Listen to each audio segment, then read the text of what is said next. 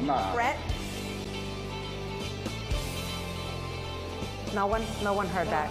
Okay, never mind. Go on. What are we doing here? We're pouring, we're pouring in the ice cream mix. This is at Dipsy Desserts. These kids get to make their own ice cream during a fun birthday party. There's a frozen container in here.